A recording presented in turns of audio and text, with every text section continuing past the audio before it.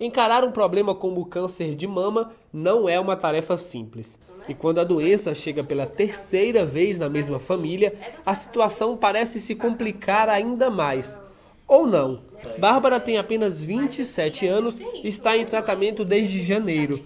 Ela resolveu encarar o câncer com um sorriso que sempre fez parte da sua vida. É, onde eu chego, eu tô sorrindo. Todo mundo comenta que é muito que assim, quase não me vê chorando, mas é assim, é uma doença, mas só que tem tratamento. No meu caso, graças a Deus, no caso da minha mãe também, o tratamento ele, ele auxiliou muito, ele foi muito positivo. A gente tem um prognóstico muito bom, a gente tem, apesar do diagnóstico ter sido bem complicado, mas o prognóstico nosso foi muito bom. Sua mãe, Jusileide, passou pela mesma situação há pouco mais de quatro anos e com ela não foi diferente força e muita fé para enfrentar a doença. Eu enfrentei com maior naturalidade, com força, com fé primeiramente.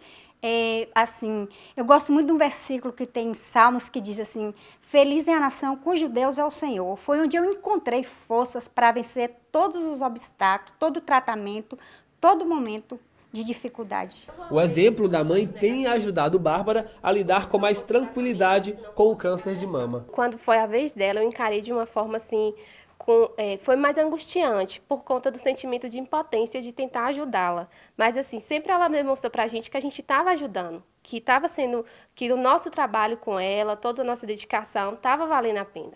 E, e para mim, então, foi bem mais fácil, porque assim, a gente já conhecia como era a forma de tratamento, né? Então era totalmente previsível como seria o meu tratamento. Mas encarar o câncer de forma tão tranquila não é comum assim.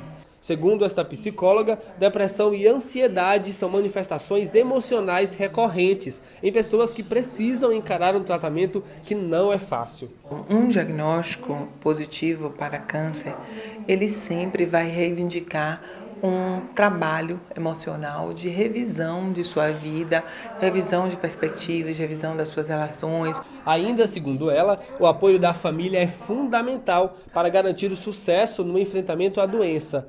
E isso não faltou, nem para a Jusileide e muito menos para a Bárbara. A família me deu total apoio, cuidou bem de mim e assim, inclusive a família precisa mesmo dar o apoio, o carinho, o amor é, diálogo para que a pessoa não fique com o pensamento totalmente na doença, mas que sempre ocupe a mente dela com alguma coisa. O apoio da família é muito importante, né? A gente se sente mais segura, né? Cuidado, amado, isso faz bem, isso é positivo. E as pessoas que estão ao redor, elas também estão sobre o mesmo impacto do diagnóstico, elas também precisam ser cuidadas, olhadas, apesar da gente saber precisar reconhecer que quem é mais, quem está mais vulnerável é quem está portando a doença. É importante, segundo Mona Lisa, focar no presente e encarar o câncer de mama como um processo natural.